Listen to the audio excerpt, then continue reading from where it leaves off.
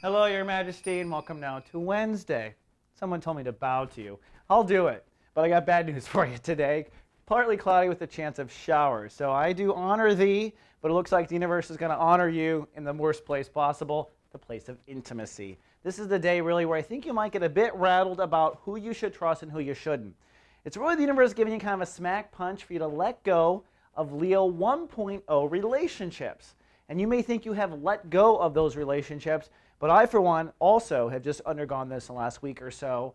And even if you're not in the daily life of this intimate person, sometimes you're still holding on in the subconscious or background. And the universe today is kind of saying, you gotta let go. Those cords have got to be let go. We love them, we still send them energy in the background, and what happens is it drains us and doesn't allow us to step into our newness.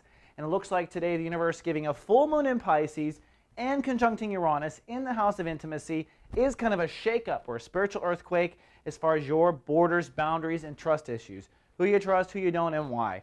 It's time to really put your full faith, and that, that's what today's about a test of faith in the new Leo 2.0, in the new rules of how people will connect to you in Leo 2.0, and all the boundary issues that you've promised yourself to let go of or turn your back on from Leo 1.0. So this is a test of faith, meaning You'll probably have no empirical evidence in the moment that it's going to be okay. You may not even be able to get your best friend on the phone today. When the universe tests us with our faith, it is just that. You've got to sit there and hold on and believe in that part of yourself that makes you magical, really, at the end of the day, all the time. It's the same magical Leo, but when you have to use it on yourself, huh, that's when you start to doubt.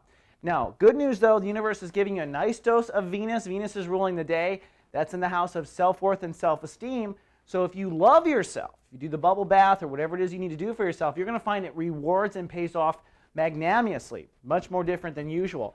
And at the same time, this is still a little bit of you unconditional love, letting go of Leo 1.0, represented by a retrograde Venus in the first house of charisma. So, best thing, get in the bathtub, love yourself, and tomorrow is a new day. All right, Leo, that's all we got for Wednesday. See you tomorrow with more. Live, love, be. Garden.